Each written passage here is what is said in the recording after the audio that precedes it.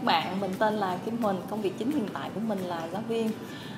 Thì ông bà xưa có câu là không có người phụ nữ xấu, chỉ có người phụ nữ không biết làm đẹp thôi.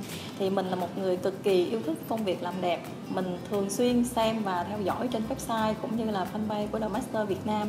Mình cực kỳ ấn tượng với lại cái công nghệ làm đẹp, những liệu trình làm đẹp tiên tiến ở đây thì vô tình biết The Master Việt Nam có tổ chức một cuộc thi là khám phá sự hoàn hảo của chính bạn mình đã quyết định tham gia ngay thứ nhất là mình thích cái cuộc thi này là bởi vì cái thông điệp, cái ý nghĩa mà cuộc thi mang lại là mỗi người đều có một cái sự hoàn hảo riêng của họ. Nếu họ chưa hoàn hảo thì do họ chưa khám phá ra mà thôi.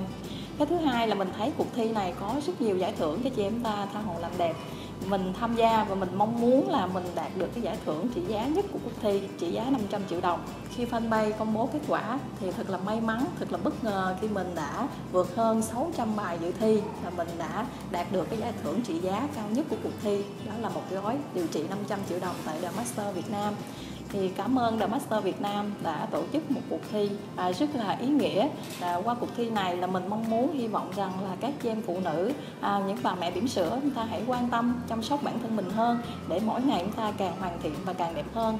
Thì với mình là cái gói giải thưởng này mình mong muốn là mình sẽ thay đổi à, sẽ hoàn hảo hơn dựa trên những đường nét riêng vốn có của mình. À, một lần nữa xin chân thành cảm ơn The Master Việt Nam.